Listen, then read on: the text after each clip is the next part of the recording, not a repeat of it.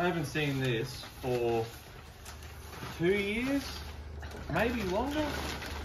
Oh, we did put the tail on, didn't we, when we pulled it out last time? Well, no, not the, not the horizontal tail, just the vertical. So, because it's been too hard to get to. Yeah. I just had, I've had it stuffed in the back corner of the shed, so I don't know. I polished that quite a few years ago, and um, not bad. I know I don't have to have all this stuff on, but seeing as it's out, we're going to go go all out and put it all together as best we can to make it look like a Frankenstein. Look at all of that room.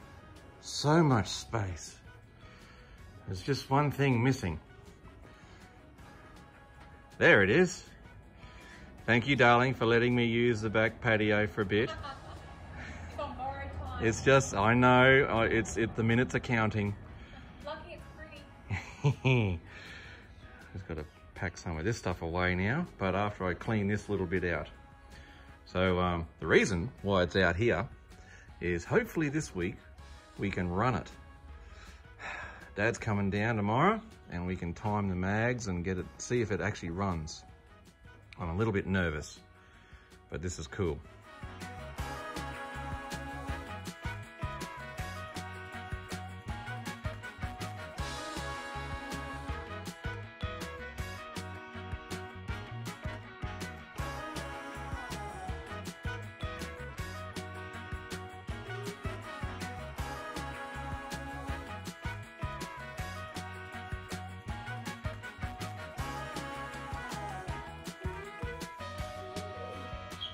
What are you doing, Don?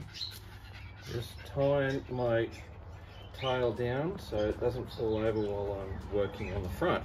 Yeah, but what are you tying it to? Well, this is an old Huey rotor head. I figured that would be enough to keep that bit of weight in that. Even retired bits still have a use.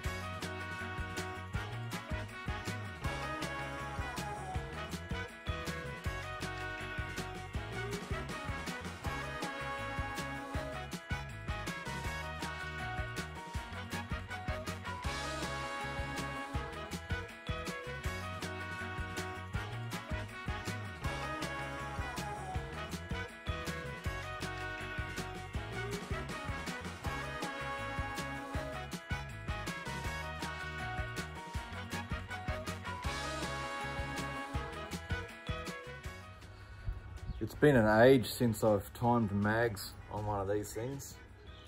So it'll be a lot to learn this week. but we'll get there, we'll get the prop on, uh, get some fuel into it and uh, see what leaks and get it running. That's the goal this week is to make it run. So um, that'll be fun, hey?